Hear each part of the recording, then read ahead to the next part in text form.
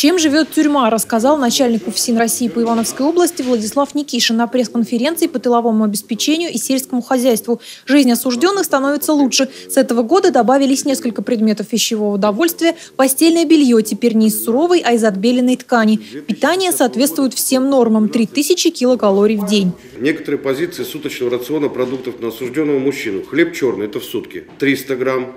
Хлеб белый 250 грамм, 90 грамм мяса, 100 грамм рыбы, 35 грамм жиров, 20 грамм масла растительного, 100 миллилитров молока коровьего, 550 грамм картофеля, 250 грамм овощей – 100 грамм круп разных и макарон 30 грамм.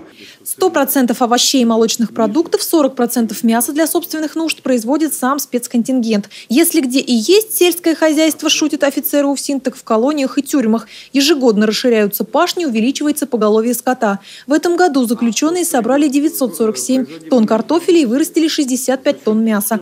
А такой современной сельхозтехники нет даже в колхозах, рассказывает Владислав Никишин. Многие товары поступают и на внешний внутренний рынок. Мы занимаемся полностью деревообработкой, металлообработкой, изготовлением мебели корпусной э, для учреждений, изготовлением пластиковых окон – изготовлением обуви. За 9 месяцев текущего года чистая прибыль УФСИН составила 36 миллионов рублей. За свой труд зарплату получают и осужденные. Для них ежегодно создают новые рабочие места. Только 30% от 8 тысяч заключенных региона отказываются от работы. Остальные трудятся и получают деньги. Зарплаты у особо старательных доходят до 15 тысяч рублей. Среднедневной заработок осужденных э, с учетом начислений у нас составляет 308 рублей. Вот в сентябре месяце вышел. Э, среднедневной заработок. И все осужденные, которые выполняют нормы выработки и полностью отработали месяц, они минимальную э, заработную плату получают э, гарантированно.